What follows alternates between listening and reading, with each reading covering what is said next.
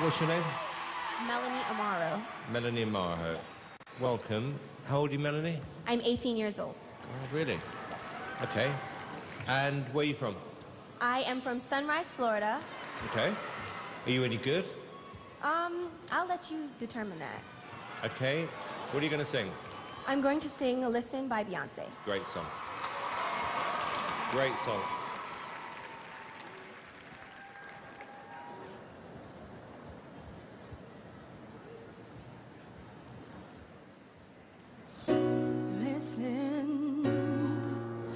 The song here in my heart, a melody I start but can't complete.